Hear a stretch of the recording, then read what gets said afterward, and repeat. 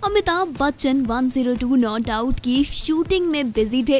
वहीं इसी बीच अमिताभ के साथ कुछ अजीबो गरीब सी बात हो गई। वेल भले ही अमिताभ की उम्र सत्तर को पार कर गई हो, लेकिन बॉलीवुड के महानायक आज भी टेक्नोलॉजी के मामले में नौजवानों को टक्कर देते हैं।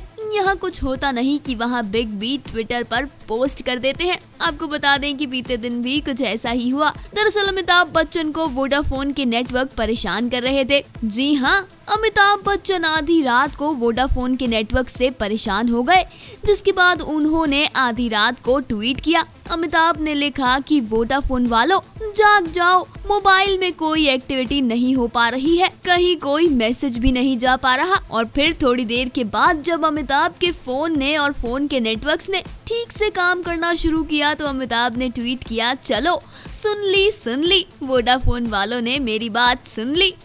Final Cut Entertainment Desk. Subscribe our channel for more updates.